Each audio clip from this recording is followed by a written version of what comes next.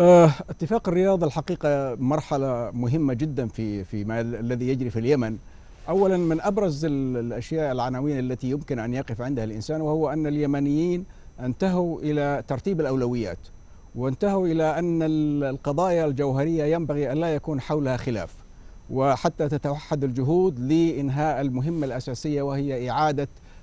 سلطة الدولة على كل التراب اليمني وتجنيب اليمن الحرب الأهلية التي لن يسلم من آثارها السلبية لا اليمن ولا المنطقة التي حوله.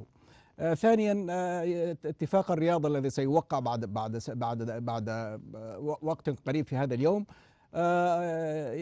يعيد ترتيب البيت اليمني في المناطق التي حررت من من من الاعتداء الحوثي